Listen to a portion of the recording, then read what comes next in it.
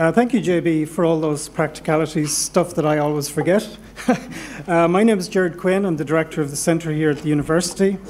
And um, I just want to say a few words before we begin proper and hand you over to uh, our panel. Um, let me just explain a little bit of the thinking behind this week. Um, we are, of course, going to continue with some of the fundamentals that we always cover. What is a treaty? How do you interpret a treaty? Um, what is the nature of the UN CRPD? Um, and an update on innovation happening around the world on community living and legal capacity. But on top of that, we decided the theme this year, reflecting 10 years of the existence of the UN CRPD, is civil society impacting change. Um, and not just on its own and in its own right, although that's the most critically important thing, but working through other agents of change like universities, disability law clinics, which are sprouting up all over the world at the moment, and of course through human rights commissions and ombudsmans and agencies like that. And the flip side to this is some of the difficult political environments in which many of our brothers and sisters operate in disability civil society, in fact, generally in civil society. So I think that's going to be very thought provoking um, and whatnot. Let me remind you, if you don't know already, that one of the highlights of the summer school, which is great fun, is our moot court competition taking place on Friday. You should all have been circulated the moot court problem. And the moot court problem is basically about closure of space for civic society and how you would litigate that if you were going to litigate it under the optional protocol of the UN CRPD. Let me just say, don't be afraid. Um, this is very, very humorous and a very interesting and engaging event. This morning is really a glance backwards in order to enable us to move forwards. And if we're looking at particularly impactful civil society change, then of course the granddaddy of them all is the Americans with Disabilities Act. So we're very, very, very fortunate to have, I mean, the ADA has many fathers and mothers, but one of them clearly is Senator Tom Harkin, as well as Judy Heumann, and they're both here with you today. So we thought we'd um, look back to that founding moment because it has a lot of lessons for civil society around the world. And apart from that, it's our belated 25th birthday message to the Americans with Disabilities Act. Um, and I suppose the most important thing I can tell you is this evening at 7 o'clock in the Radisson Hotel, we have an indoor barbecue. You can tell by the weather in Ireland, we don't have many outdoor barbecues. Uh, but hey, it works, you know, and the beer is good. Um, and there will be a céilí, which is Irish music and Irish dancing, and everybody will be dragged out onto the floor. Not kicking and screaming, but uh, voluntarily, of course. Um, so I just want to read to you a statement drafted by the President of Ireland, welcome you here today. He can't be here in person. He says, Distinguished guests and summer school participants, you are most welcome to Ireland. This is now the eighth summer school on international disability law and policy, with over 150 participants from around 47 countries, and especially from the developing South. I had the pleasure of opening in person the school three years ago and I'm delighted to see it thriving, and especially in my old alma mater, NUI Galway. This year in Ireland, we celebrate our own founding moment in 1916, which promised a republic that would cherish all of the children of the nation equally. We also mark later this year the 20th anniversary of the publication of the landmark report of the Commission on the Status of People with Disabilities, which, and our American delegation will be delighted to hear this, was fittingly launched by Ambassador Jean Kennedy Smith and Representative Tony Coelho. This year at the summer school, you will also, I am informed, look backwards to another anniversary 10 years of the UNCRPD, a treaty that Ireland has committed to ratify by the end of the year. Rather embarrassing for us, Ireland has not ratified the treaty. Thank you. Um, Gerard Quinn tells me that while disability rights is an American invention, it's now a global challenge because of the treaty. President Higgins says I was delighted to have the opportunity to meet with many of the speakers at the summer school, including Senator Harkin, who is deservedly known as the father of the ADA, and Assistant Secretary of State Judy Heumann, who is doing sterling work around the world, helping others move their reform processes forward. The spark which Senator Harkin lit with the ADA has travelled and is travelling around the world. I salute also the presence of the British Commonwealth and acknowledge the tremendous work that they are doing around the world. And I welcome the significant inputs to the summer school from representatives of countries in the developing South, which is close to my heart. In the coming week, you, will, you are looking at change and especially the role of civil society in driving change. You're looking in the summer school at how civil society is engaging in highly constructive partnerships with others, including universities, human rights commissions, and indeed, you're looking at the problems of advocacy in difficult political and other environments. You also have here with you some of the world's pioneers in philanthropy, um, including the Open Society Foundation and the Disability Rights Fund. The imaginative and inspired funding strategies of these and other philanthropies help give voice to so many who've been left out in the past. You deserve a huge amount of credit for the changes in the past 10 years. I wish you well for your discussions and I look forward to hearing about the outputs and outcomes from your proceedings. Beir beannacht, Michael D. Higgins, President of Ireland. Um, so, it remains for me now just to call on my colleague, the Director of the Life Course Institute here at the University, Professor Pat Dolan, to formally welcome you on behalf of the University. Vice President Lokesh is unfortunately in Berlin. Well, fortunate for him, I suppose, but unfortunate for us, and he sends his best wishes. So over to you, Pat. May I just remind you, this morning's proceedings are being live streamed around the world, so many people who couldn't make it will be watching this live. Pat. Uh,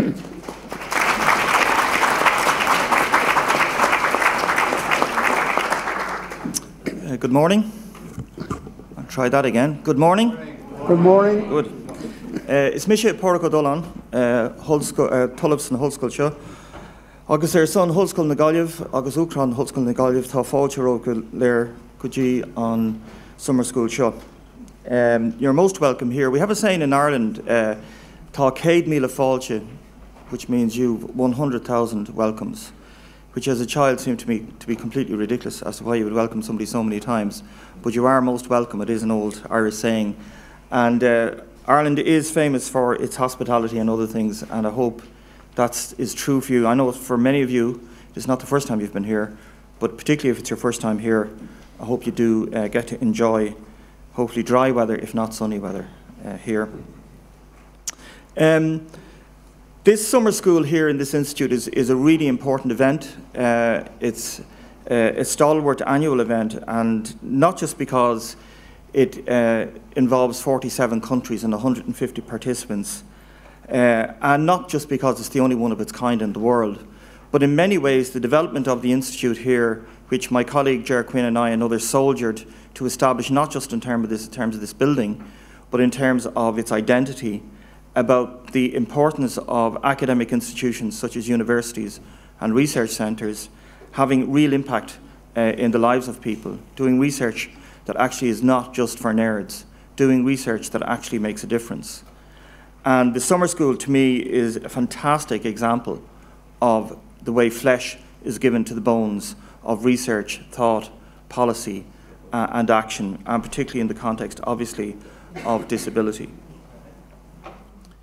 This is the eighth such summer school, and uh, it wouldn't be possible if it wasn't given support. And we really, particularly, uh, the university particularly wants to thank the early years funders, including the European Commission, and now laterally the Open Society Foundation and Irish Aid for their support.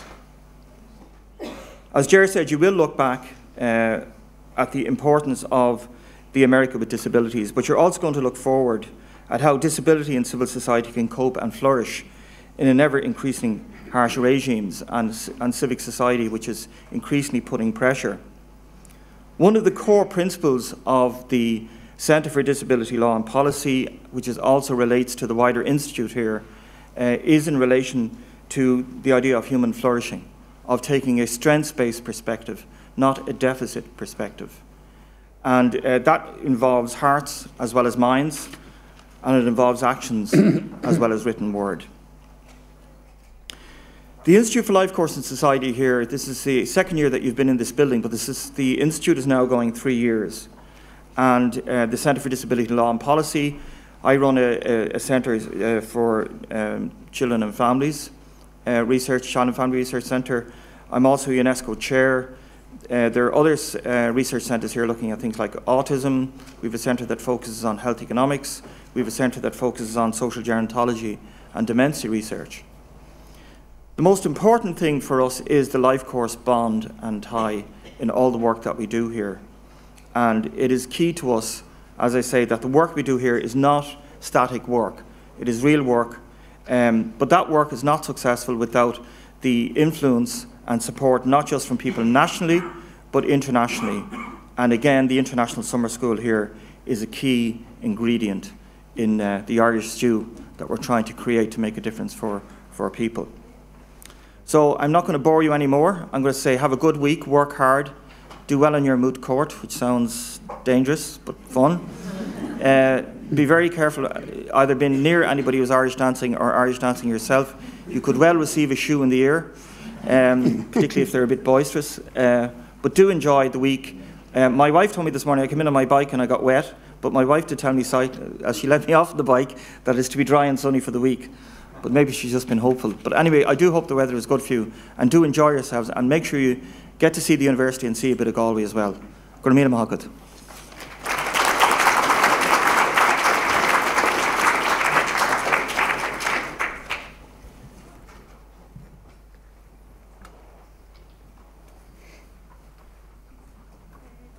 Right.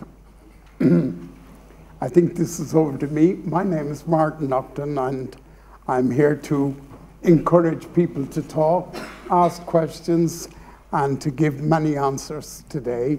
Um, re, um, I suppose this session, if you're from Ireland, it could be called Reeling in the Years, right?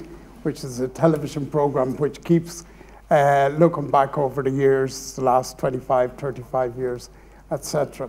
So, in order to start, uh, I'm going to start off with um, Senator Tom Harkin, and already Senator Harkin has got a bit of an in introduction. Uh, the president says that he's the man, so we'll, we'll give him his space right now. Is that all right, Tom? Mm. Okay, so over to you, sir. Should I get up there or here? Whichever, whichever makes you comfortable. Where, up here, maybe. Mm -hmm. Thank you. Let's see. Oh, looks like I'm on the Starship Enterprise here. Uh, well, first of all, thank you very much, Michael, and uh, I want to thank uh, Professor Quinn, Gerard Quinn, uh, for uh, for having us here, the Center for Disability Law and Policy at the National University of Ireland here in Galway. I also want to thank uh, Dr. Quinn for his all of the work that he did on the uh, United Nations uh, document, the, the Convention on the Rights of People with Disabilities. I thank you all for being here. I thank you all for the work you're doing to implement the CRPD uh, in your own countries. Um, I'm delighted to be here with Judy Heumann, whom you will hear from shortly, who has a long history of activism in the United States leading up to the Americans with Disabilities Act and is now our point person uh, sort of globally in our State Department on disability rights uh, globally. And John Wodatch, who you'll also hear from, another longtime advocate uh, uh, in, in disability policy in the United States. I always like to think of uh, John Wodatch as being the the general to whom we gave the orders to make the ADA work in America. you know, we parliamentarians a lot of times can pass laws, but they don't mean anything unless somebody makes it happen. So Mr. Wodatch made it happen in the United States. So uh, again, uh, you'll hear from him. I thought I'd just give a brief background of the Americans with Disabilities Act. And uh, how it came to be. And, and maybe there's are some things in there that, that you can take back to your own countries and, uh, and think about how you might progress uh, in, the, in your own establishment of, of laws and regulations, policies uh, that uh, break down barriers and open doors of opportunity. I would just start by saying that I think in the United States we had, prior to the ADA, we, uh, we had a, similar to what I'm sure you experienced in all your countries. People with disabilities were isolated, uh, segregated out, institutionalized, uh, looked upon with pity and patronizing attitudes, and with very low expectations that anyone with a disability could ever be of any value to society. So that was, that was what it was like in America, and I'm sure you know that yourself. In 1964, the U.S. Congress passed a broad civil rights bill. Now, you know, we'd gotten rid of slavery back in the 1800s, but we still did not have comprehensive civil rights for American people.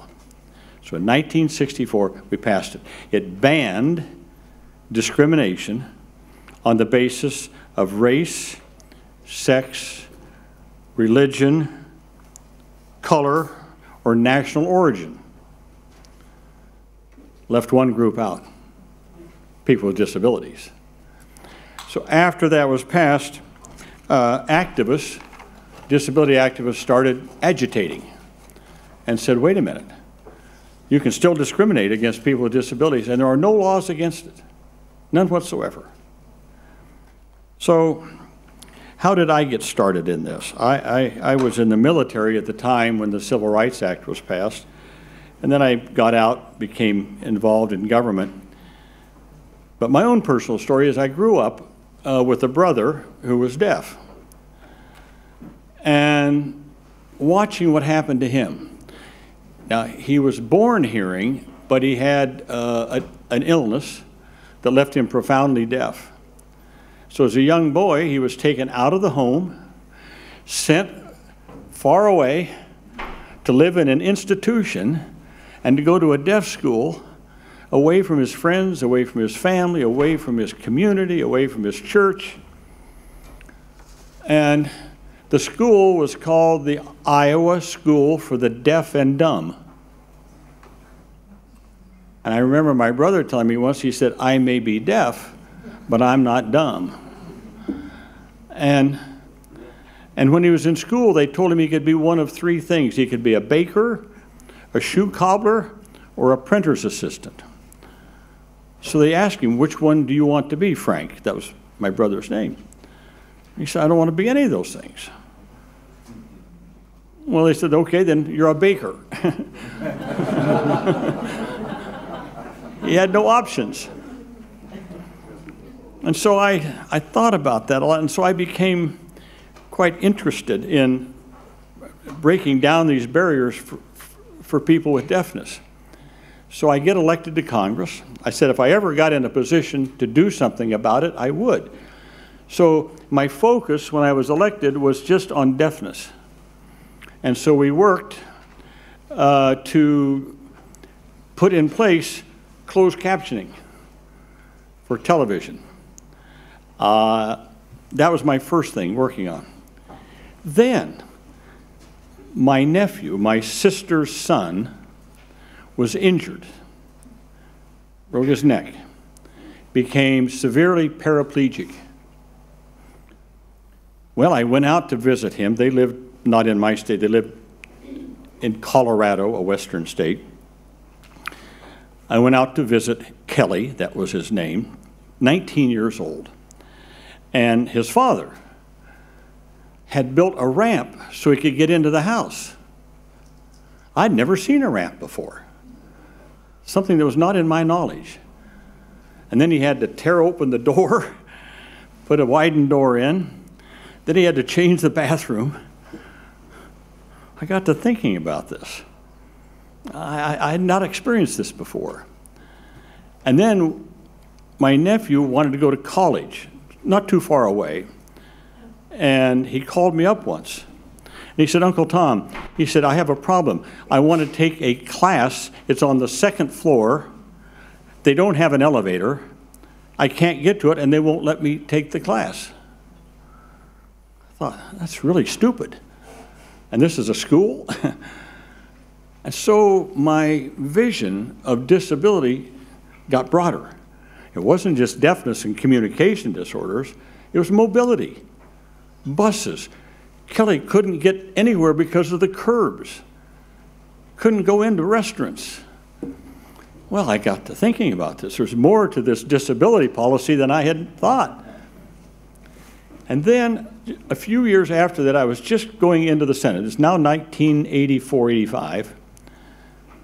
And I met a young man in Iowa through friends and his mother and father. His name was Danny Piper, P I P E R, Danny Piper.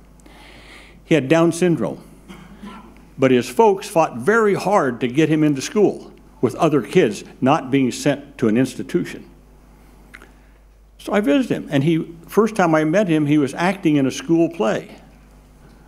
He was very good. And he was the manager of the football team. And uh, all of a sudden, my vision began to get even broader about disability policy. So it wasn't just deafness, it wasn't just mobility, it was now intellectual disabilities. And how people with intellectual disabilities were being segregated out and given low expectations. But here was Danny, had hopes and dreams for the future of working alongside everybody else. Well, about that time, about that time, um, about that time, I get into the Senate, and even with my contacts in, in with friends and family with disability, I began to talk to other senators and congressmen. They had even less knowledge than I did. So they, they weren't knowledgeable about disability policy.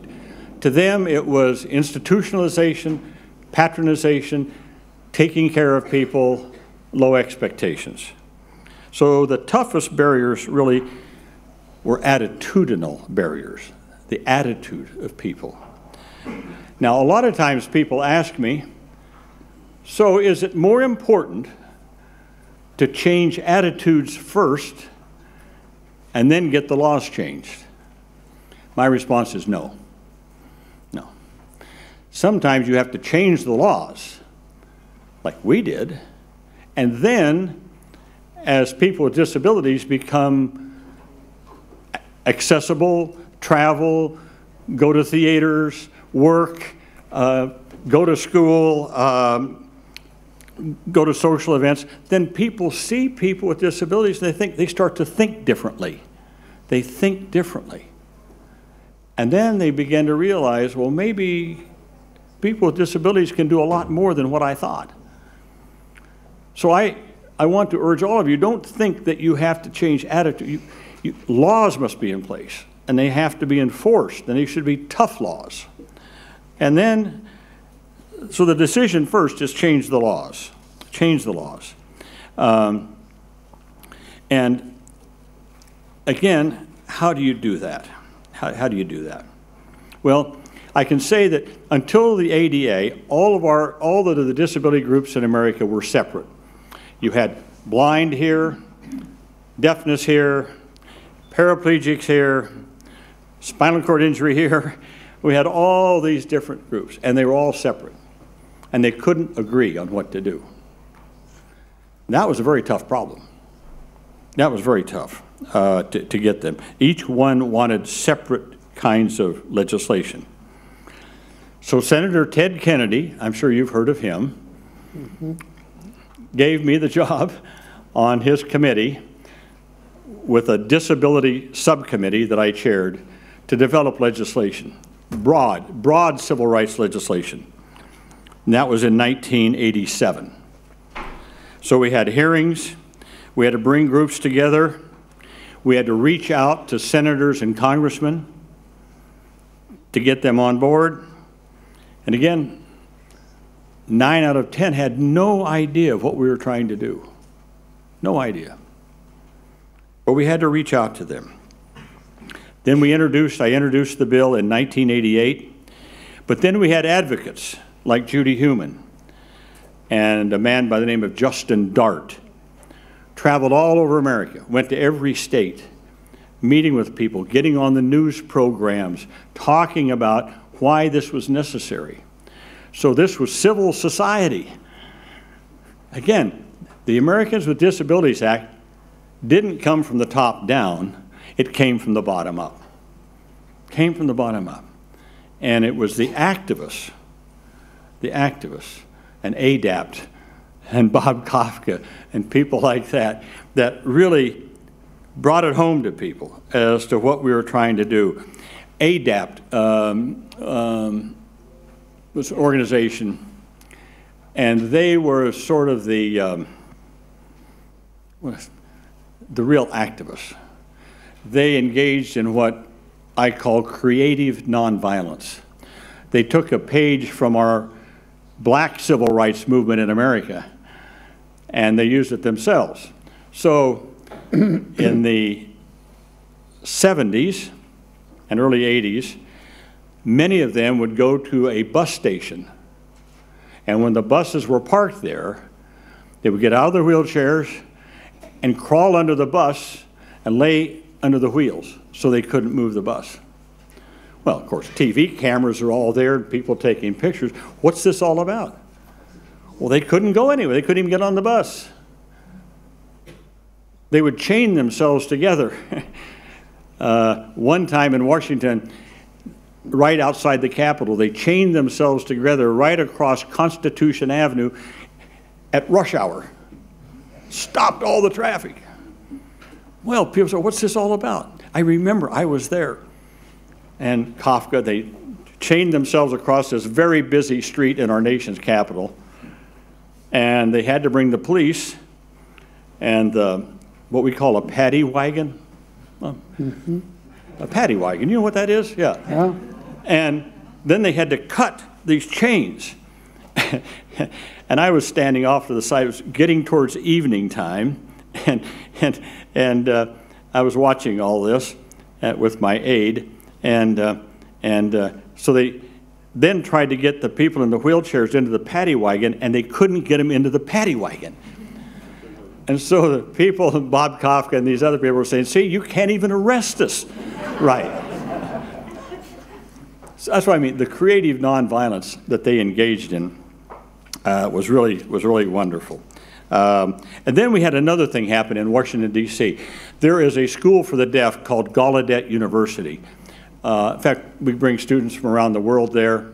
Um, it's becoming more integrated, so you have hearing and non-hearing students there now. But at that time, it was all deaf. And they had never had a deaf president. And they were getting a new president of the university. And again, they're going to hire a non-deaf person, a hearing person. The students went on strike, wouldn't go to class, and they marched down to the capital of the United States and had a big rally. And this was in 19, uh, this was 1988, 1988. And all of a sudden, people began to see this. And, and then they did. They hired a deaf president, I. King Jordan, who was there for 15 years, did a wonderful job. So we had those kind of things that happened uh, to bring more uh, alert to people, alert people what we were trying to do. We worked to get businesses to support us. Then we had to make it bipartisan.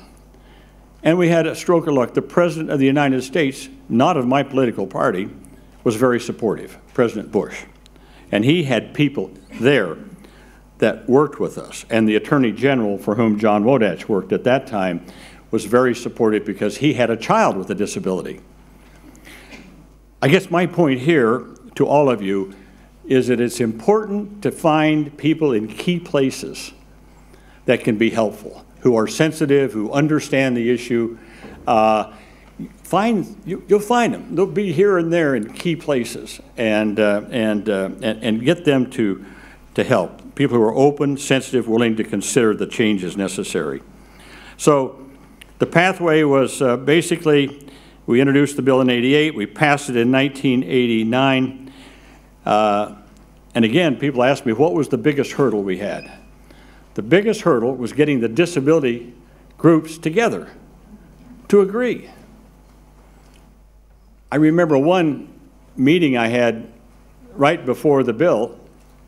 I introduced the bill, and we brought together all these disability groups together in a big room in Washington. I had my assistant, Bobby Silverstein, and I told them, I said, look,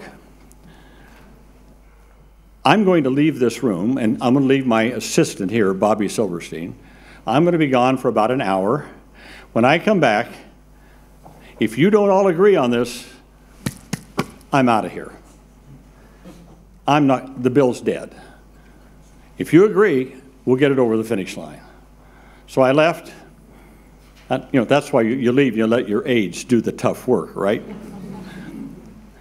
And when I came back, they agreed on what the broad civil rights bill would be. And they, we were able to get, go, go forward on that. Two last things I'll say before I turn it over. Uh, I talked about creative nonviolence. One day, we passed it in the Senate in the fall, and it sat in the lower, in the House of Representatives all winter, and they couldn't get it passed. And about March, um, I got a call from Bob Kafka, who was an interesting, is an interesting guy. And he said, look, watch, the, watch TV news tonight. He said, I'm going to help you get that bill passed. I started sweating. you never knew what Bob was going to do. I thought, oh my God, what's he going to do now? And what he did was he alert, he was smart. He alerted all the press. And he said, you should come to the capital of the United States this afternoon. We're going to have the biggest demonstration we've ever had. People with disabilities, you won't want to miss it. Well, so the press showed up, and here's what he did. He got a number of people in wheelchairs, and on a certain count, they rolled their wheelchairs up to the steps of the Capitol, fell out of their wheelchairs, and crawled up the Capitol steps. And the policemen were there. And the policemen were saying, You can't do that.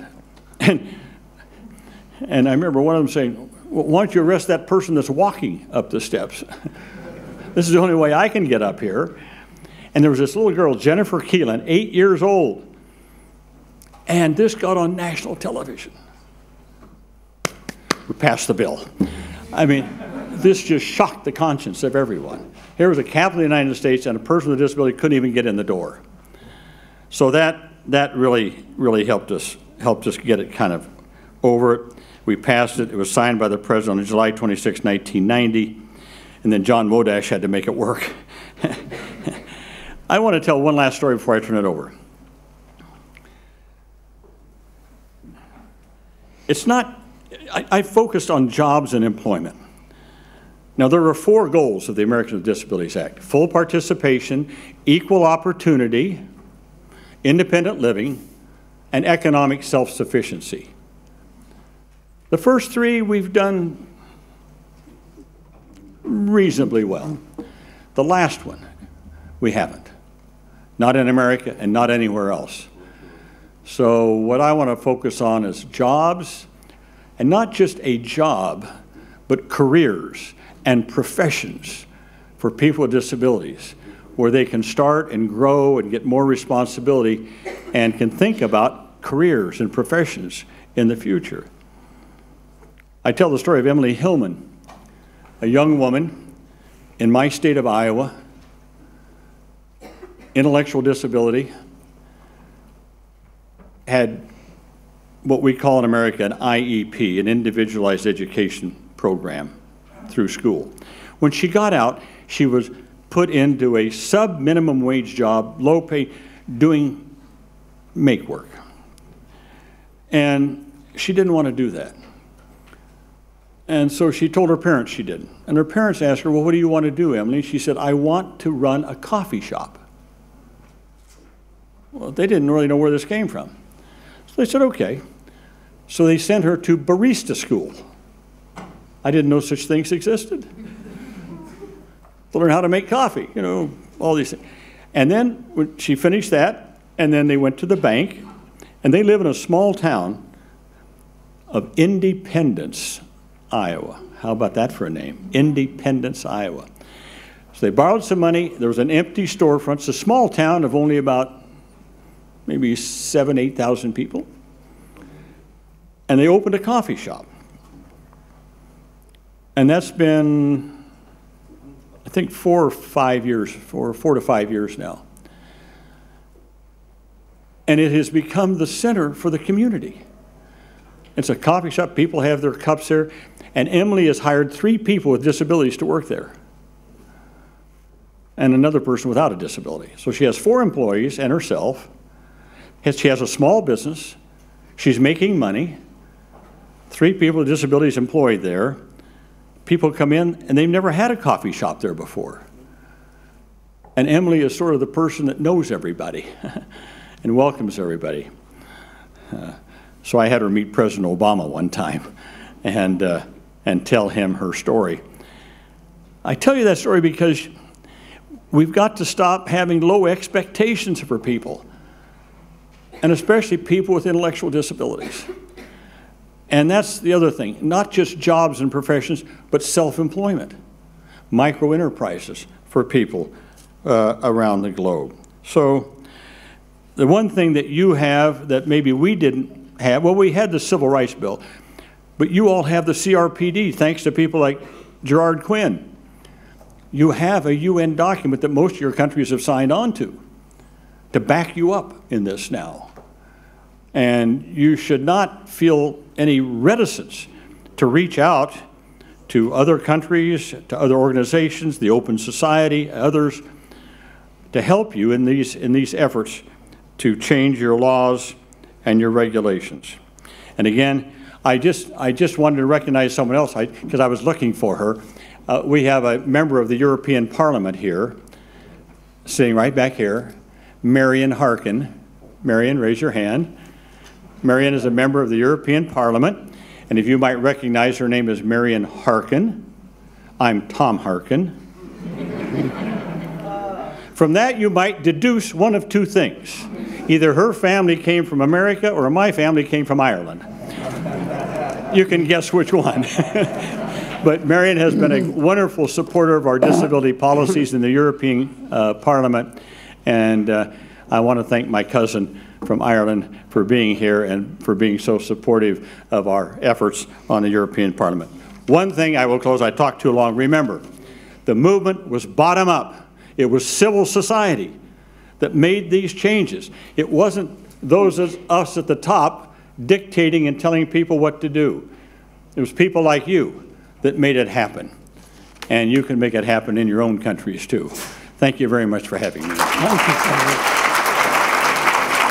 Thank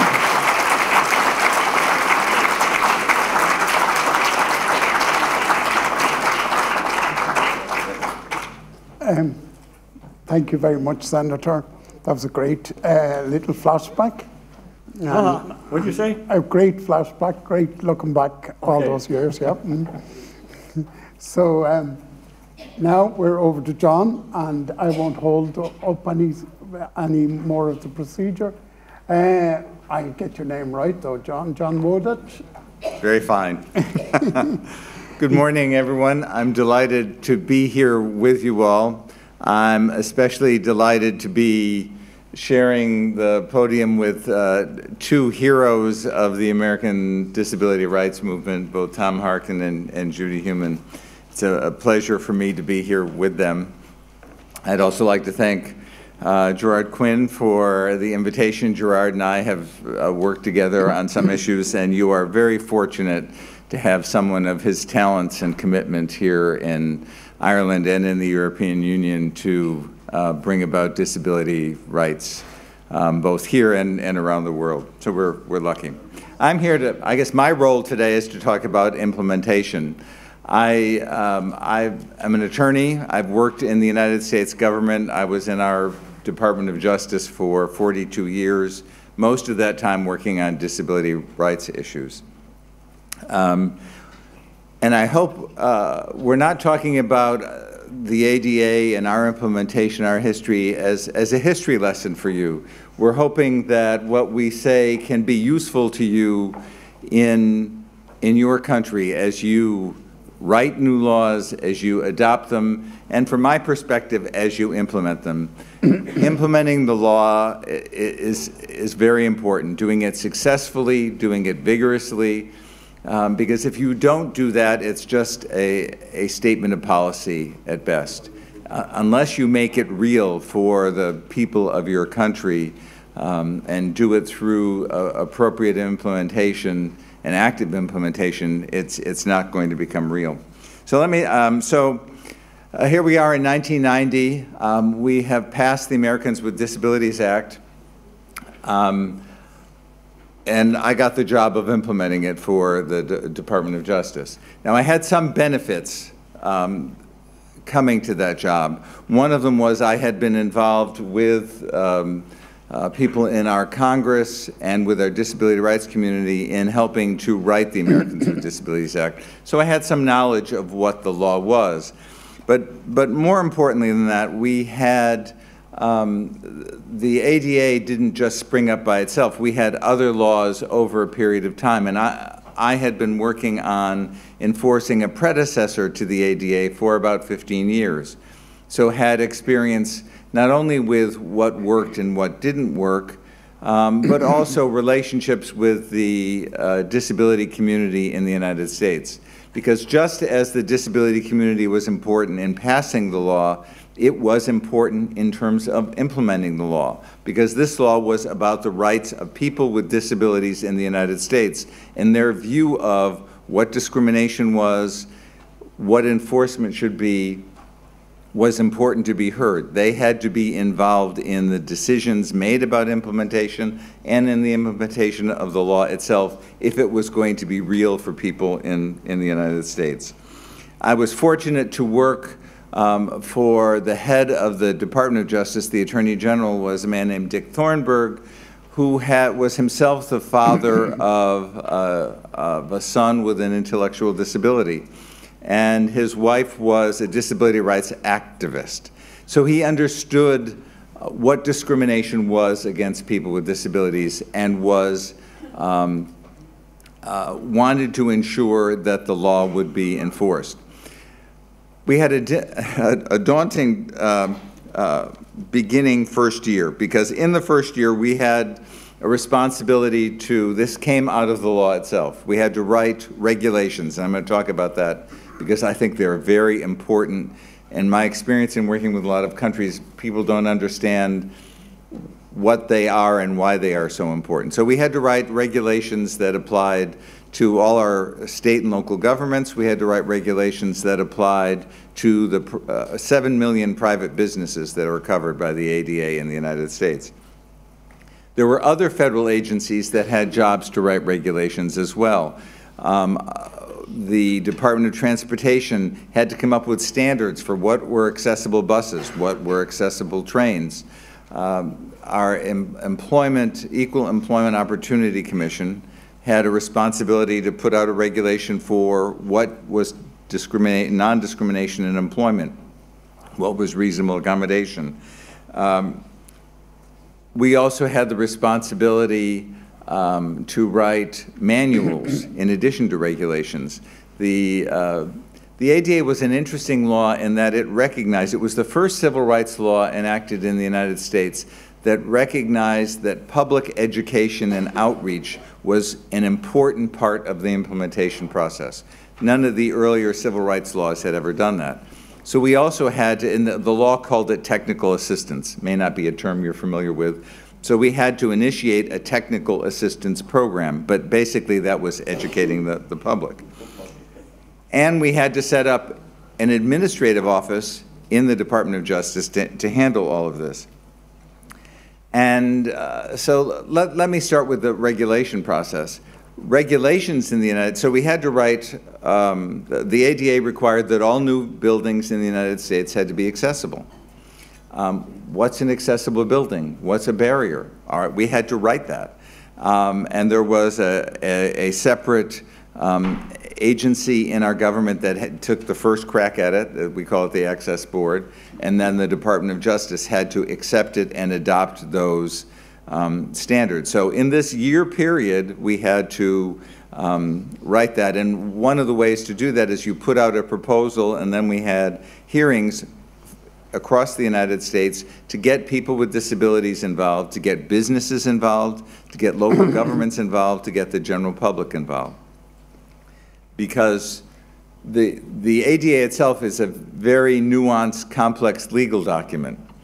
Um, we had to make the American public understand what it was, and there were also decisions to be made. That was perhaps one of the most shocking and surprising things.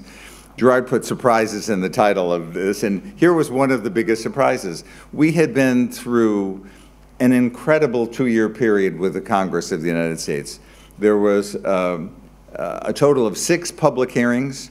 There were thousands of pages of testimony. There was debate in the Congress. We thought we had understood every issue there was. We, so writing the regulations was going to be easy. I'll give you an example of why it was not. Um, in addition to requiring new buildings to be accessible, the ADA for um, private businesses said, well, we can't just ignore existing buildings. There has to be some standard that covers them. Because if you don't cover existing buildings, how are people with disabilities going to um, go, to the, go to a bar, go to a movie, go to a restaurant? Um, and, and it's important to have some changes. But you can't have the standard be that all barriers would be removed because it was expensive. So Congress came up with a new approach, and they said that every one of these 7 million businesses had to remove architectural barriers where it was readily achievable to do so. And they described readily achievable as something that could be done easily without much difficulty or expense. That's what the law said. Our job was to translate that into something meaningful for 7 million businesses. Okay, so we so uh, the the first idea was well maybe we should say it'll be a you have to spend a percentage of your budget or a percentage of your profits. That was one idea. So we floated that with the American business community and they said, "Wait a minute, you want to know how much our budget is and how much our profits are and you want us to spend a percentage and and they said, "Oh no, no, no." We, it was, and then we had to look at, um, and people with disabilities wanted something meaningful. They, they wanted to be able to have something that was enforceable, so that they could say to a business, or if they had to sue, they didn't meet this standard. So we had a year-long process of debate about this, and what we ended up with is not a percentage, uh, not a hard number, um, but really a set of criteria that could be applied. And so the standard, it was a sliding scale. So uh, the local grocery store that was just owned by, um, um, we call them mom and pop grocery stores in the United States, a small operation.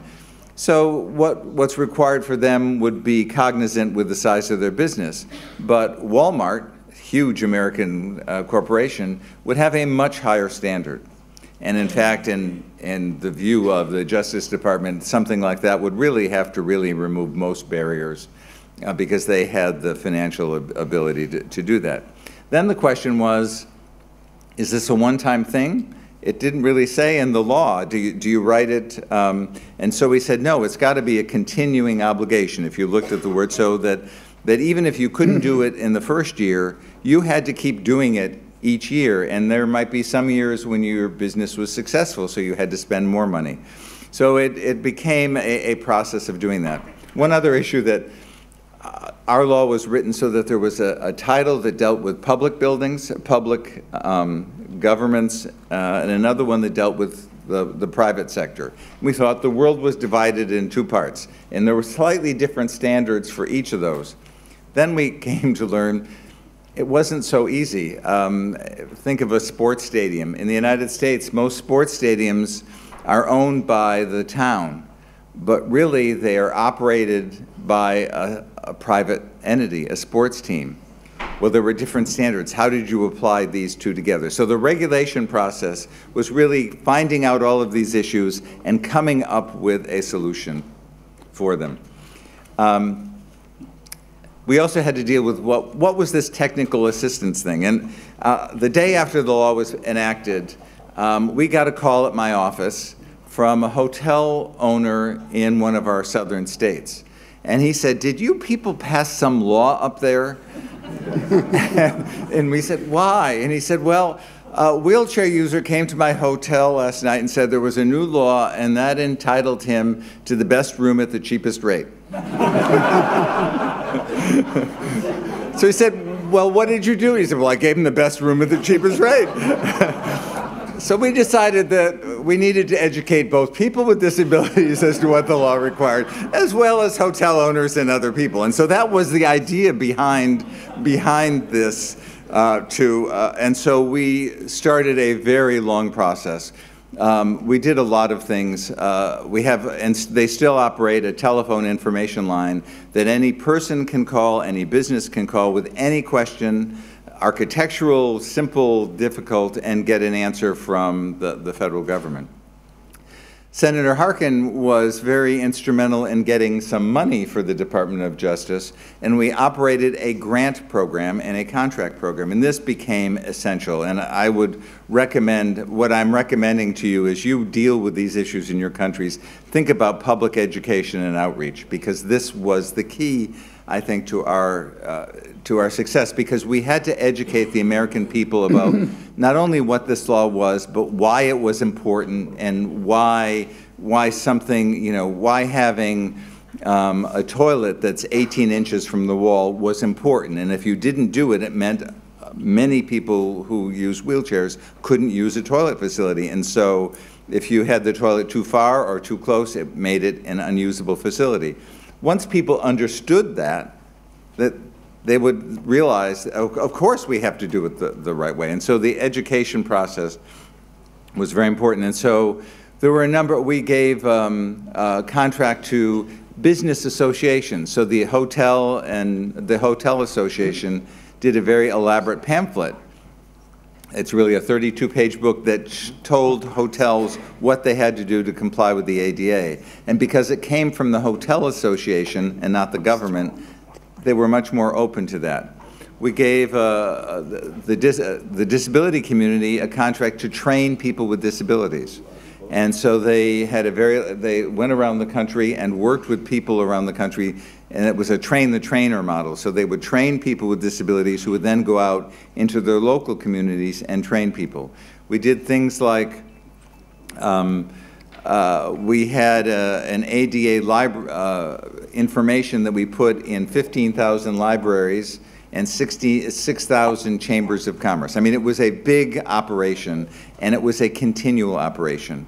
Um, one thing that you will learn once the law, things change. Uh, when the law was passed, I would have said to you one of the easiest things in, a, in our law was um, people who were, at that time it was mostly people who were blind who were using service dogs um, to, get, to get around in the environment.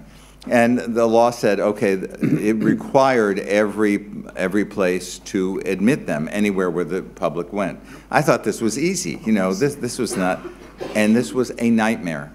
Hotels didn't want to have the dog stay in the room.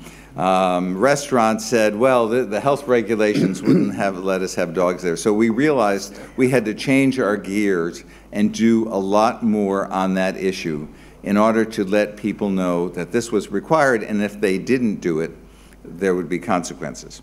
So the other part, other than the, so this was the carrot, this was the nice part. But the law also had enforcement. And we had the responsibility to receive complaints and to sue.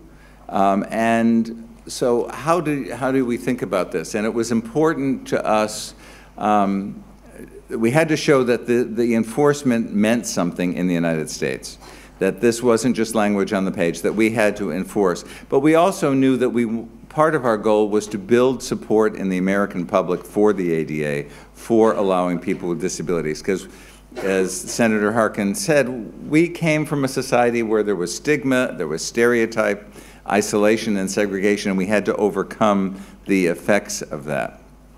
And um, so we, we brought, uh, and, and our idea was our lawsuits had to reflect all, all types of persons with disabilities, all kinds of disabilities, had to be national in scope, couldn't just be in certain parts of the country, and it had to be fundamental issues that, not frivolous issues, things that people understood were important, because the idea of the ADA is that every facet of American life should be open to people with disabilities. And so I'll, um, I don't want to talk too long. Um, let me just give you a couple ideas of, of some of the cases we did um, early on. Some of them, some of them were important big cases to set precedents. Some were symbolic. I'll give you uh, two ideas of symbolic. One of our first cases was against the Empire State Building, which at the top of the Empire State Building has a place where visitors can go and look at New York. It was inaccessible. Um, uh, a wheelchair user could get up there, but they couldn't see anything. Um, a person who was deaf had no information. A person who was blind had no information. So we ended up um, having an enforcement action against them, and then it got a lot of public play. And what was important about that was people said, oh, the Empire State Building, a symbol of the United States, a symbol of our power, this is shared by everyone in our country, people with disabilities. But equally important were, were um, uh, we got a, a, case from a, a, blind gentleman who was called to jury duty. He got there and was told, oh, blind people can't be jurors in our country. Well, this is, this is a key duty for American citizens. And, uh, and that was a key stereotype that we had to overcome. And so that was a case that we took and changed the policy and then publicized it. So it was a combination of doing the action and then publicizing it. Other, other similar kinds of cases, um, at that time, this was before credit cards were used a lot, people used checks or wanted to pay with a check. In order to do it, most businesses said you have had to have a driver's license. We actually had to sue companies to say that uh, you know there are blind people, there are other people with disabilities who don't have driver's license, and they want to buy goods and use their checks. And so in our country, every state allows a, a person with a disability to get a, a, state ID. And so we had to sue in order to get businesses, it sounds silly to you, I know at this point, but to get them to accept a state ID other than a driver's license. Um, there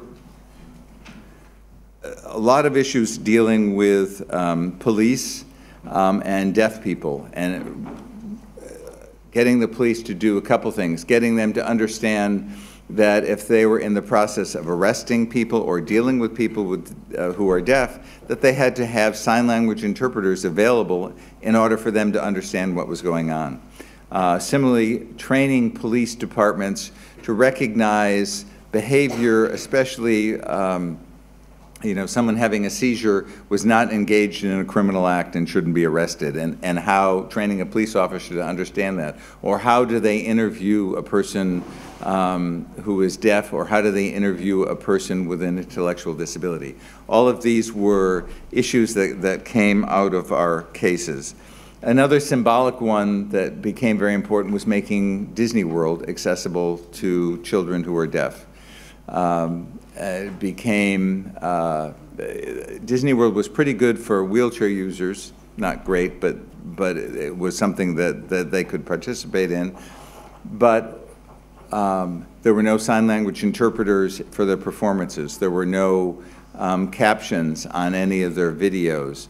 Uh, there was no explanation. There was no way for um, families that had deaf children to go and experience that that took, believe me, that took a long time out of our, our life. But, but doing something like that, that then publicized and people said, oh, of course, mm-hmm. people, this is part of the American experience. People with disabilities should be able to be involved in that.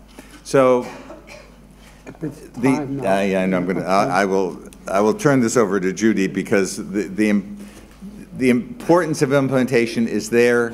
Um, you know, the ADA has gone on. There are 164 countries around the world that have ratified the treaty. Ireland is about to. I congratulate you on the. The United States, is, we are still working on that. We'll, we, we hope your example will, be, will light the way for us. Um, but, but as you implement your own laws, think about um, these kinds of issues. I'm going to be here the entire week. I'm happy to chat with any of you um, about the, the work that you're doing or ideas about implementation or how you can proceed. Thanks very much.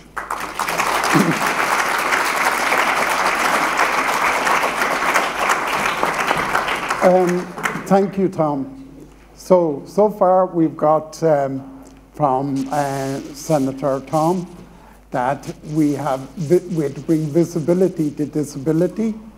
We had to have confidence and we had to raise our expectations and we have to believe uh, that we can be fully participant in society. So we people with disabilities in the first instance and then society will believe in that as well. And then from John, we had the easy bit. Make it happen. Right, okay, well, you know, it's, um, we all know it's so easy to plan.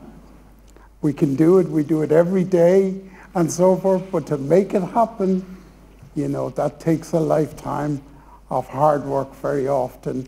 And I think that's what uh, uh, John has set out for us. Um, before we go, just before I go any further, and we're going to try, we may try and delay the coffee just for five or ten minutes so that we can have a bit of uh, uh, uh time for questions, etc., and that I can give Judith uh, enough time. And in the meantime, I believe there are people here from Vietnam. You're very welcome. I know there's a rowdy bunch from Dublin. They're also welcome. And uh, and a few other different places around the world as well. So just to welcome. Now, in the world of disability, we all know Judith Heumann. She's our big sister. She tells us what to be getting on with, what we should be doing in our country, what we need to do in order to bring everlasting change. Judith first came to Ireland, I think probably in about the mid 70s.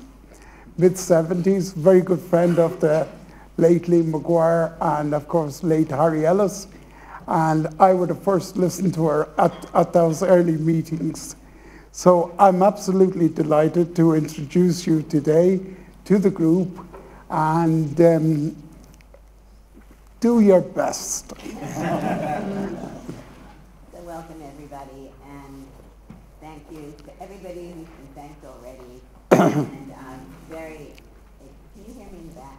Okay.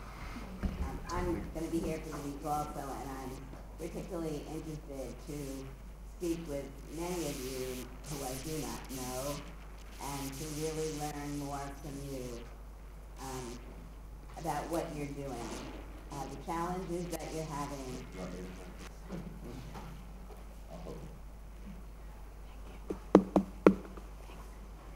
So, much better.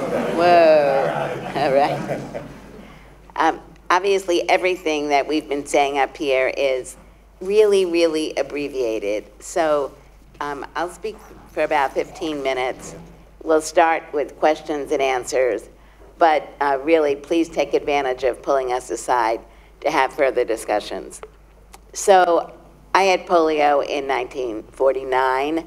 I'm 68 years old. And what's important um, to discuss is the changes that have been made in the US, like the changes you're making in your countries. So when I was growing up, we had no curb cuts, we had no accessible trains or buses. Now, I lived in New York City in Brooklyn, New York.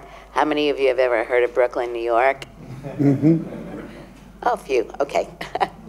um, but and I was the oldest of three children. And my life and my brother's life were very different. Uh, my parents accepted us all as equal kids, but the barriers that existed were quite different.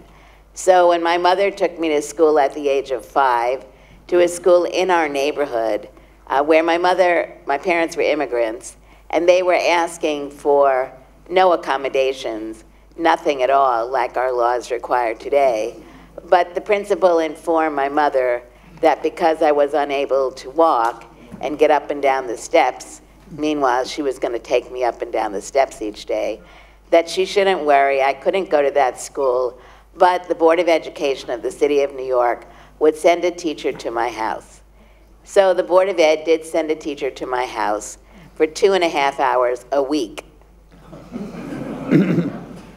for the first grade, second grade, the third grade, and in the middle of the fourth grade, I was invited to come and be screened to see if I could go to Health Conservation 21 classes in this particular school. So I went, my mother had to come with me for a week. Um, much of the supports in the school, in the classrooms, were provided by parents who had to come and volunteer a certain number of days a year. Of course, they were not paid for the work that they were doing. And uh, so you can kind of get a broad understanding of what was going on. In 1975, in the United States, the government's official figure of children out of school with disabilities was 1 million children. So, of course, that number was low, and it wasn't just the number of children out of school, but it was the number of children who were in segregated programs, um, like the Health Conservation 21 program I had gone to in Brooklyn, New York. Uh, all across the country, in rural and urban areas, transportation wasn't accessible, job discrimination in most parts of the country was not illegal, although some states had laws that they had put into place. Um, when I went to get my first job um, as a teacher, I applied for my teaching certification. And in New York, you had to take three exams a written exam, an oral exam, and a medical exam. This was in the 1970s, in the early 1970s.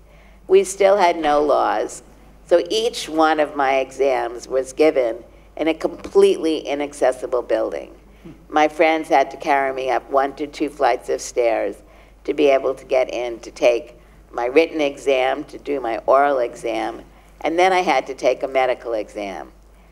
The doctor who interviewed me was an older woman who was, I don't even know how to explain, but the bottom line was she failed me she required me to come back again.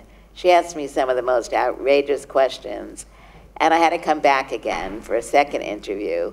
And I was ultimately denied my teaching license in writing because of, quote, paralysis of lower extremities, sequelae of poliomyelitis. I have to honestly say, having not gone to school for many years and not taking Latin, I did not know what sequelae meant. So I went to the dictionary because I thought, paralysis of lower extremities, sequelae of, I wonder what that means. And of course, you know it means because of. So I was officially denied my right to teach because of my disability. At that time, that was not, on the face of it, um, illegal to the degree that the lawyers in the Board of Education wrote it down. Today, you may be denied a job, but no lawyer in a big institution like the Board of Education in New York City, would be stupid enough to write it down that way. So I was very lucky. I was able to get two free attorneys. Uh, we did sue the Board of Ed, and uh, we ultimately, the Board of Ed settled out of court, and I did get my license. And it did result in a change in our state law. And there was a law in the state of New York that said if you had a physical disability, you could not be a teacher. And about a month or so earlier, I learned that there was a blind person who had the same problems that I did, but he was not very public. So one of the things that happened for me at that time was I had a lot of disabled friends. We'd been talking about for many years the problems, just like those of you who have disabilities or sisters, brothers, parents.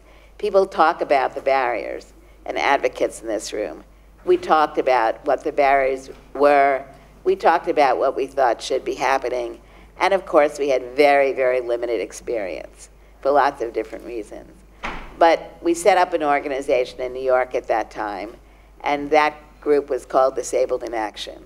I think in the 60s and 70s um, and 80s in the US, we saw um, a huge number of disability rights organizations being set up. And those organizations like in many of your countries, are organizations that are run by disabled people. And that very much started to change the landscape of the discussion that was going on in our country as in countries all around the world. And why was that? It was because we were not talking about cure, we were not talking about the medical model, we were talking about rights.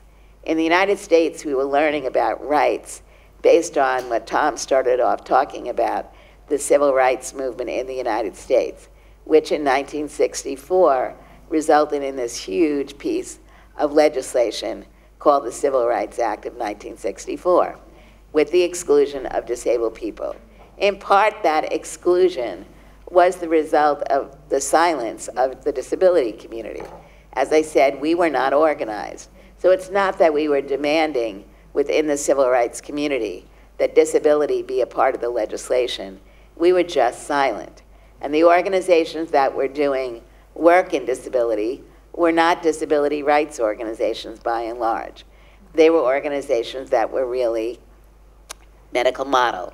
And even though they were beginning to be more rights based in the 60s, again, these connections didn't exist.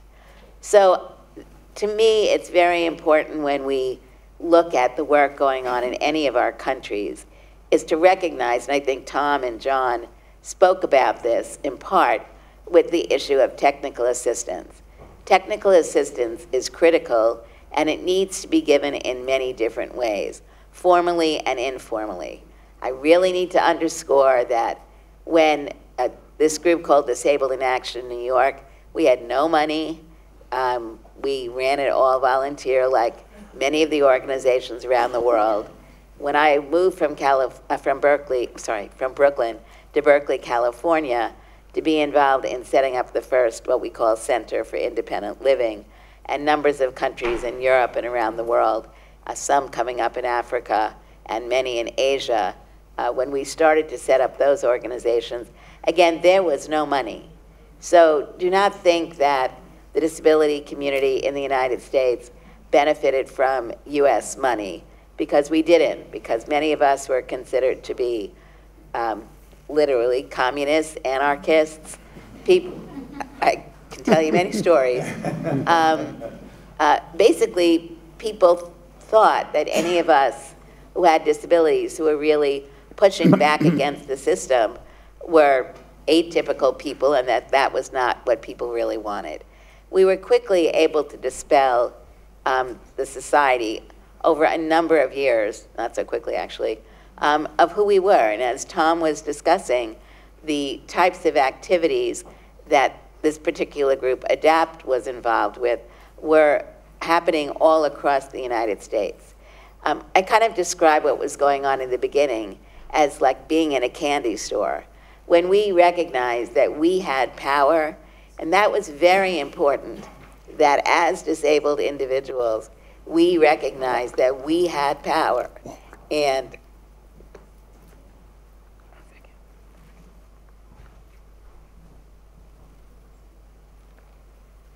that we had to use that power.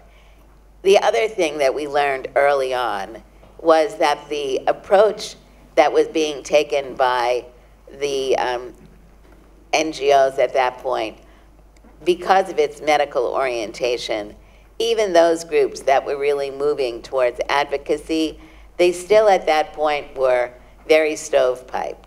So disability A had its agenda, disability B had its agenda, disability C had its agenda.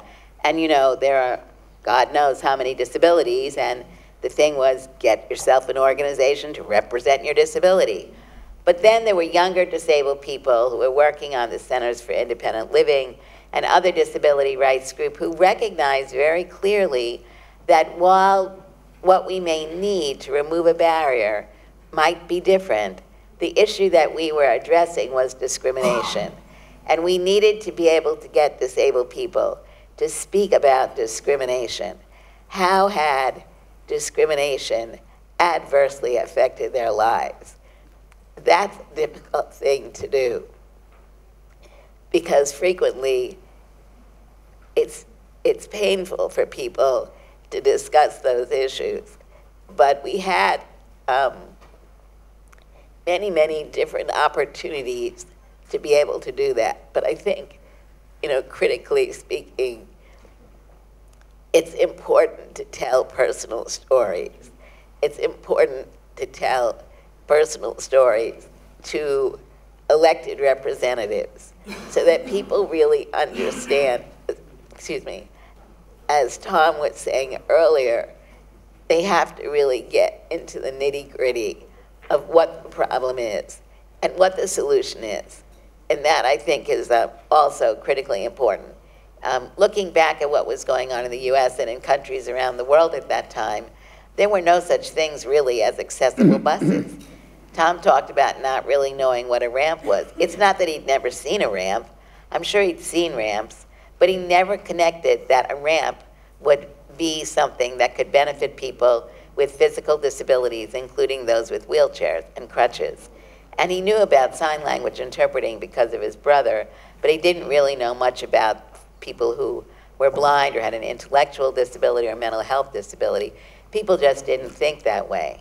So what the Americans with Disabilities Act um, really required is that we had to put our side, aside our differences. We had to focus on what we wanted, and we wanted our law to mirror the 1964 Civil Rights Act, which covered the public and private sector. In many countries around the world, the uh, public sector is covered, but not the private sector. And that is a huge mistake. Why should it be the government that has to build a building that's accessible, but the shopping mall or people who build an apartment building, they don't have to? Why should a bus that's produced with federal money exclusively have to be accessible? And if there were buses that were being privately produced, they didn't have to be accessible. That was ridiculous. But what was an accessible bus? How are we going to be able to make accessible buses? We didn't have connections with the authorities. We were not lobbyists. We did not have connections with those people. And so I think, you know, um, we don't have time during these discussions, but I'm going to say to Gerard that I think it would be good maybe this week if we could look at getting Lives Worth Living or The Great Fight um, shown because it gives you some examples.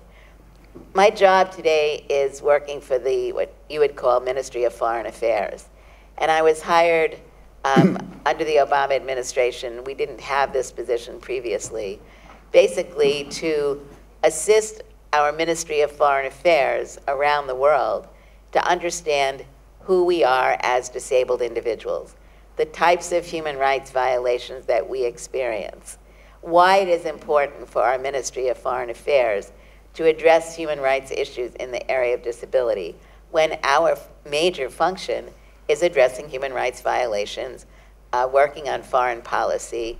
Um, why was disabled? Why were disabled people not being included in that agenda? So my job is to help them learn about who you all are and who the millions of disabled people are around the country, and to get them to sit down with people, disabled people, and family members and not only learn about the problems, but learn about what you've been trying to do. Learn about where your government has been supportive and learn about where your government has been oppositional. I think one of the very important messages here is that people at the State Department, our foreign service officers, uh, knew very little about disability.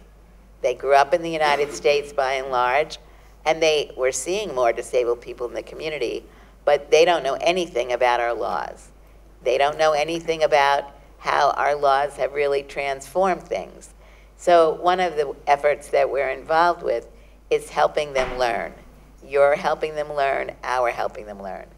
Another area that we're working on is working with our civil society in the United States to provide opportunities where our civil society can be working with civil societies in countries around the world and with governments to help them learn about both the barriers and solutions.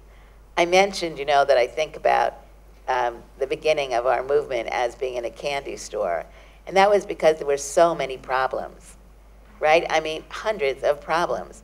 So pick one that was something to do with it. But it has required over the years that as disabled individuals and advocates for disabled people, we have to specialize. Specializing in disability law, specializing in inclusive education, specializing in deinstitutionalization, specializing in making accommodations in employment, specialize in working with people who come from other countries who don't speak the same language as your country speaks. Excuse me. So um, the ADA has really, plus other laws, uh, been as impactful as it has been because we were able to work collaboratively. It has been very important for civil society to be able to work, not with all, but with a growing number of our elected representatives who see us now as a constituency. Uh, because organizations at the community level are participating in elections, are registering disabled people to vote. And at the local level, the city level, the township level, the county level, the state level, our votes do matter. And they matter in all of your countries also. So to me, I look at this also as an onion. And we're peeling an onion. And we have to look at every leaf in that, what do you call it, leaf? Whatever. layer. Layer. You have to look at every layer. and we have to really look carefully at what it means. We have to dream big. Do not dream small. Do not allow laws. What you get in the end, I don't know, but you need to know the laws well. I think the ADA is an amazing model to look at. If you go on ada.gov, you'll get a lot of information.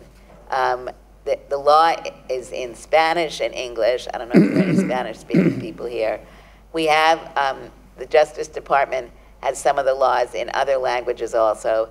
And as uh, Tom and John have been discussing, technical assistance centers. We have 10 technical assistance centers in the United States that deals specifically on the ADA. We have 100 parent training programs. None of these programs are big. We're a big country. So when you think of 310 million people, um, 10, 100 parent training programs, they're small. Their staffs may be 5 to 15 people. They've had to fight with Congress to get money. We have 700 centers for independent living. Japan has about 150.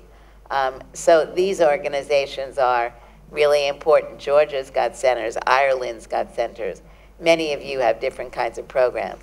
So let me just conclude by saying we have to dream big, we have to collaborate, we have to um, recognize that change takes time, but that we cannot give people more time than they deserve. And we need to work collaboratively together and the CRPD is the mechanism to do that. Thank you.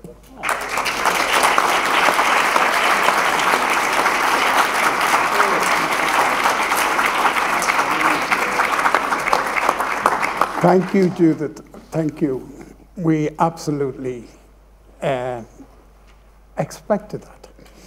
And knowing Judith as long as we do, and um, how simple and how clear and how determined uh, our, our, presentation has been. Uh, it's over now. We're going to do some talk, uh, questions, and share different experience, etc. Just before we do that, I want to remind people, as from an Irish point of view, like back in the late 80s into the early 90s, we started bringing independent living to Ireland. At first, we were looking at it, and our attitude was it's okay for America. They've got lots of money. They've got everybody. They've got this, they've got that, and the whole lot. And so we never, people in our country will never understand it like that. So uh, after a little while, we started to say, why not? Right? Very simple. Why not? And then we moved into a little phase ourselves, into the dream phase, right? So we hadn't got into the implementation or anything else at this stage. And we started to dream and dream and dream a different life for us. And through the stories and our own personal stories, we started to tell the people of the country this. And time shortly after that, in actual fact, we were quite surprised at the number of people who believed in us, not least of all politicians, but who could actually uh, de- de- uh, deliver a short speech on what independent living was about. That it was no longer about doing for people or knowing what was best for people or that any of those things, but rather that the time had changed to, to where people with disabilities actually nine out of ten times knew what was best for them. They may have lacked a little bit of self confidence, low expectations, and things like that, but that all was a byproduct of the segregation and the dependency that we had developed through the medical model. Right? And once we started to roll that back and started to believe in ourselves, I can't say that things immediately got better, but we started to feel better about ourselves and we saw that we could fight to improve our opportunities.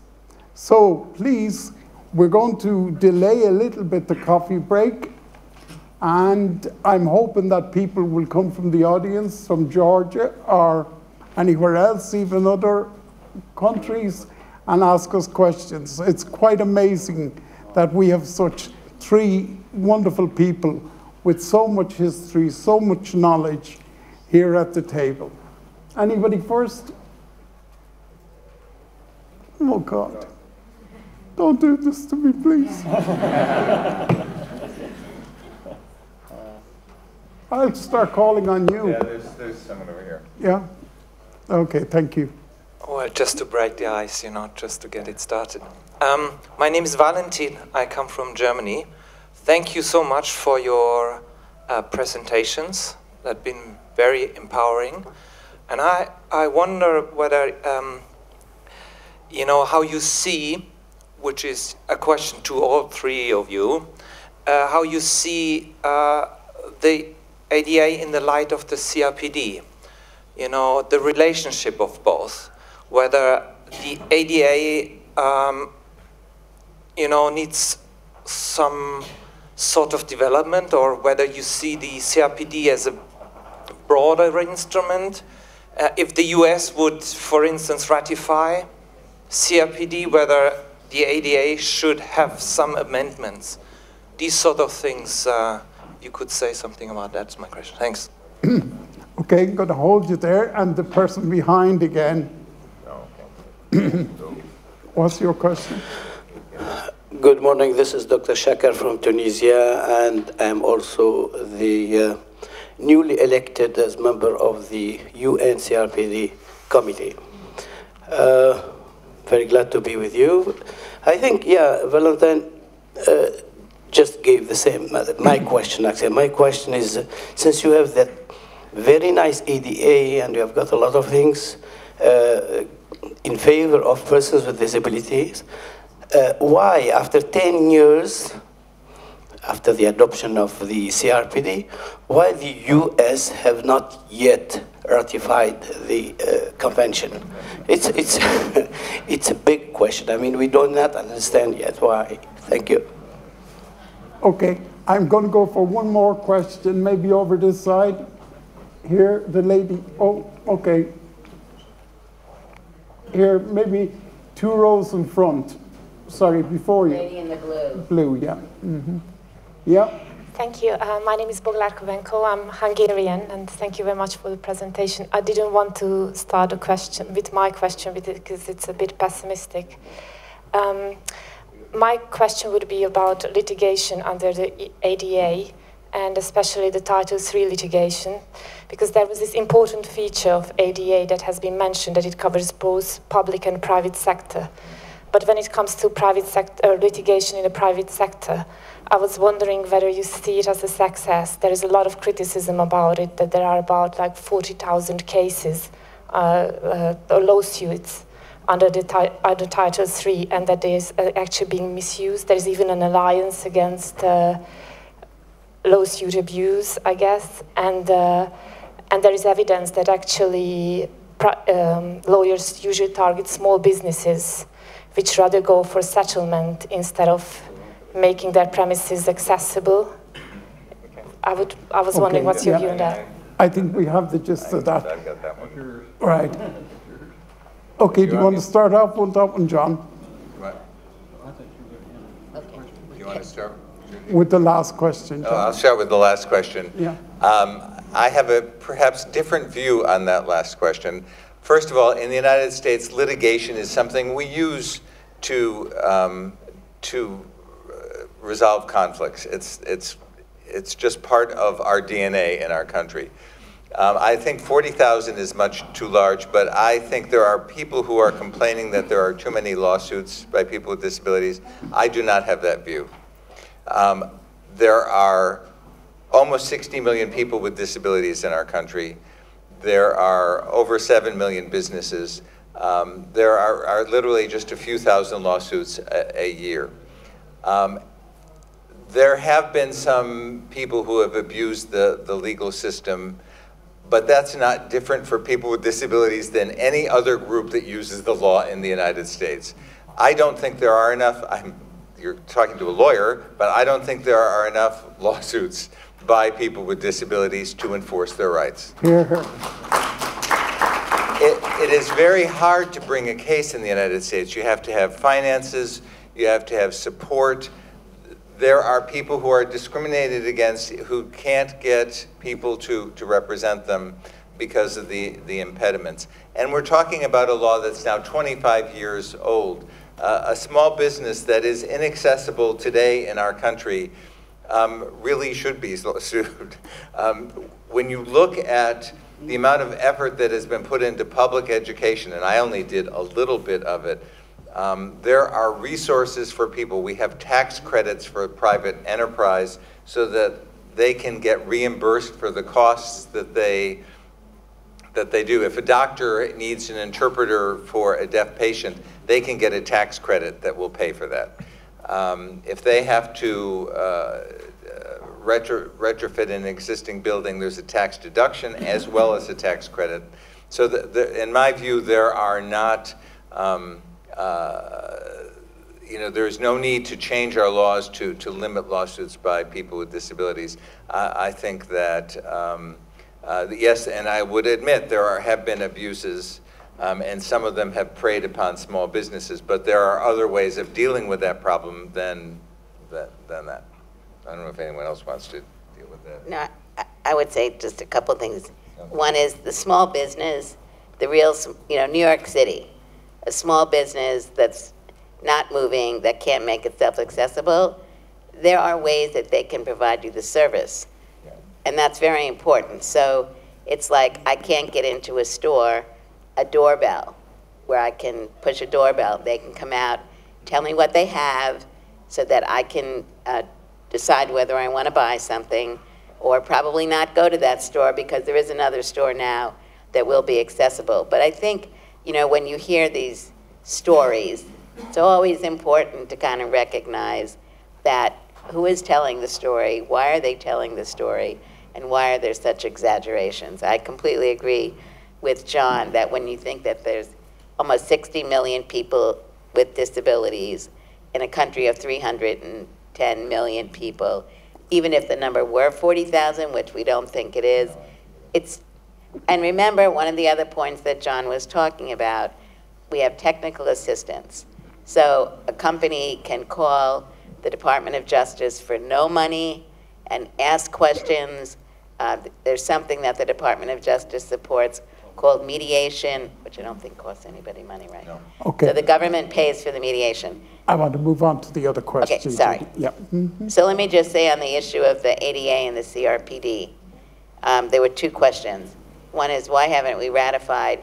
And the other is, uh, what do we think, do, do we think we need to change laws in order to be in compliance?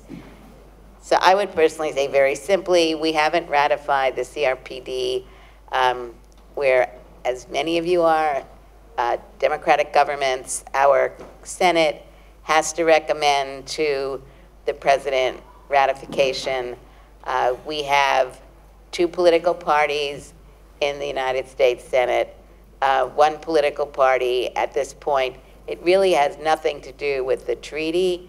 It has to do with the fact that there are issues with some of our members about the United Nations and uh, a belief, quite frankly, from some of the members, we've got the laws that we need. Why do we need to ratify the CRPD?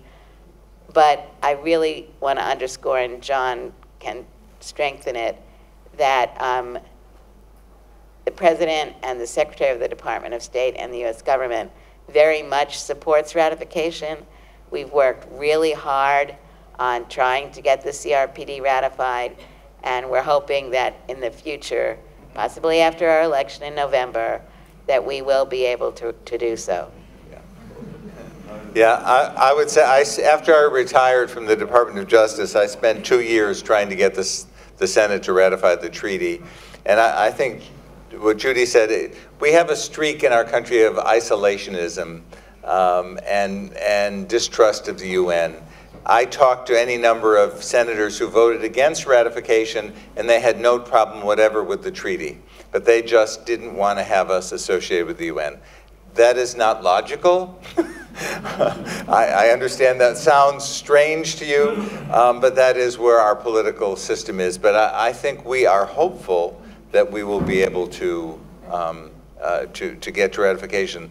And the question from the gentleman from Germany is an interesting one. Um, the, the, you know, the ADA was written 25 years ago, um, uh, and the, the CRPD is a broader statement of, of disability rights as human rights and a broader statement. Um, we all know, we who work on disability rights in the United States know that there are many areas we have to improve. Um, uh, there are movements uh, you'll hear this week from Georgia and others about legal capacity, and we have those issues about supported decision making versus guardianship. These are issues that I think are very much alive in the United States. We are actually, without amending the ADA, our state laws are moving drastically away from guardianship as, as a mechanism, but it's still, it's still there. So, and we are, we are slowly closing our institutions, but there are many areas where, where we would improve. Um, ratification might be a spur to that, but I think we're moving in those directions even without it. Yeah, and just to say that, yeah, 17 agencies reviewed all of our laws, and when the package was sent to the Senate, basically, at this point, um, we're saying that we don't need to make changes in order to ratify. Under our system, when a treaty is proposed, it goes to the president. And under our constitutional system, the president then takes that treaty and sends it to all the departments of government, the executive departments, and asks them to do two things what's the budget impact, and what laws do we need to change in your department to comply with the treaty? So it goes to the Department of Justice, it goes to the Department of Health and Human Services, Department of Education, Department of Agriculture, and then they have to respond and look and see what laws need to be changed to comply with this treaty. That was done with the CRPD after, after Obama became president. And that takes about a year or maybe a little bit more to filter through all the departments and then come back. When it came back to the president, the response was, we don't need to change any laws to comply with CRPD, and it has no budget impact. So then the president signs it. But under our constitutional, under our constitution, it does not go into effect until the Senate ratifies it. So he sent it down to the Senate. Under our Constitution, a treaty takes a supermajority. So we have 100 senators. It has to have 67, two thirds, to vote for it to go into effect. I won't bore you with all the details because I was leading the effort in the Senate to get it passed. And we came up four votes short because of what John Wodatch said. There, Well, I'll tell you the story. What the heck? Okay, this was in 2010, um, 12, 2000, huh? 2012, thank you, Judy. 2012, the election had been held. The treaty came up for a vote in December. We thought we had the votes. We counted our votes. We thought we had the votes. But a certain senator was elected from the state of Texas who came into the Republican caucus, their Republican group, and said that anyone, and he was opposed to the United Nations, ideologically opposed to the United Nations. He threatened, he said, anyone, any Republican who votes for that UN treaty, the Tea Party, that's a kind of a right-wing party, yeah, will come after you in the next election. So a lot of the votes that we thought we had fell by the wayside because they were afraid that this was going to be used against them. So we fell four votes, but shy. But the fact is, we got, what, 63 votes? So we had a majority. So a majority of people want to sign on. But under our system, we'd had to have 67 votes. I still remain hopeful that after the next election and maybe some changes, and let me say right now to all of you, Donald Trump will not be elected president of the United States.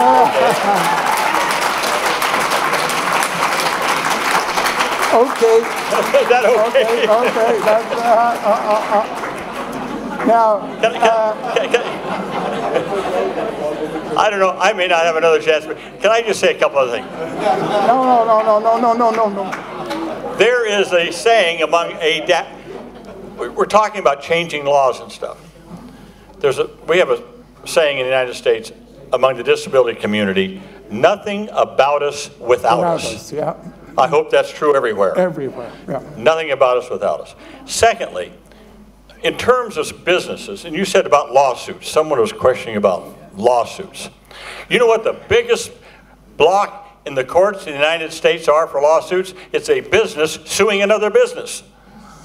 It's not people suing for their rights and disabilities, it's one business suing another because of encroachment of patents and blah, blah, blah, and stuff like that. So that, this is just, this is just uh, myth about all the cases being blocked up. John Wodatch is right about that. Let me just say one other thing. For all of you going back to your countries and talking about the private sector uh, making changes. We had, this is a case I want you to hear about. Right after ADA passed, there was a, a, a private school in my state that wanted to comply with the ADA, and they got a hold of me, and they were really upset because under the ADA, they had to change all the water fountains in their school so that people using wheelchairs could drink water at the water fountain. And it was going to cost them a couple million dollars to do all this. So I sent my aide out, Bobby Silverstein, go out and see what this is all about. So we went out to the school, and the school had gone to a contractor, you know, a, a, a, a building person with a company, said, we want to comply. He comes in there and says, well, you've got to change all these water fountains and change all the plumbing. He was in the plumbing business. got to change all that. A couple million dollars to do all this plumbing. So I sent my staff person out. He met with him, looked at all the water fountains, and he said, look, why don't you just do this? At every water fountain, put a paper cup dispenser and a waste paper basket so that anyone using a wheelchair can roll up there, get a paper cup, get a drink of water, and put it in a waste paper basket. And you'll comply with the ADA, and it will cost you almost nothing. I tell you that story. Look for the simple solutions. Mm-hmm. Don't always accept that something that's going to cost a lot of money has to comply with the CRPD or anything in the CRPD. A lot of times there are very simple solutions that don't cost a heck of a lot, okay? Thank you. Thank you, Tom. Thank you. Uh, I'm sorry, but uh, we're going to have to bring this session to an end. I had a few questions coming for what about the future, but I think we got caught up in the past anyway. But Yes, Tom. Thank you, Michael. I- I'm sorry, I have to say this because Michael Gamble McCormick says I have. You know, one of the, okay, I I hate to take this time, but I'm here, and you're here. I'm retired from the United States Senate. So I'm focused now on certain, basically one thing, and that's employment of people with disabilities. And we have an institute. There's a Harkin Institute. You can Google it. Harkin Institute for Public Policy in Iowa. This December the 8th and 9th in Washington, D.C., we are sponsoring the first international summit on employment of people with disabilities. We're bringing in private sector businesses, some government, disability advocates from around the world to meet to talk about what are examples of businesses that have done a good job, what were the problems they had, what were the hurdles they had, what are the myths that we have to overcome, and then other businesses that want to do a better job of employing people with disabilities because there's a whole workforce out there of talent that can be utilized if they just have affirmative action programs to go out and get people into the workplace. Please write this down. Look up harkinsummit.org. Harkinsummit.org, and it will tell you all about it. If you need any other information, you can get on the website, you can send us requests, and we're looking for participants and people who are interested in coming to this conference uh, in, in, in uh, next December, the 8th and 9th in Washington, D.C. The first one will be there. Next year, we want to have one in another country. The year after that, in another country. And we're going to keep moving this thing around the globe so that we get more and more private sector businesses and to make sure that we can stimulate people with disabilities to start their own businesses, like Emily Hillman, their own coffee shops, their own micro enterprises around the globe. So thank you very much. And um, so, so, thank you, Tom. and uh, uh, remember what people said. They're going to be here for a while. And if, they, if you need to talk to them one on one, they're happy to do so. It's all about sharing at this summer school, you know, and um, I'm going to share coffee with you all right now, okay? It's 25 past 11. We're running about 10 minutes late. So we'll close the doors for the next session at 20 to 12. That's 20 minutes before 12 o'clock. Thank you all for your attention. And, mm-hmm. Sorry I had to take a little liberty there. It's all right. It's okay.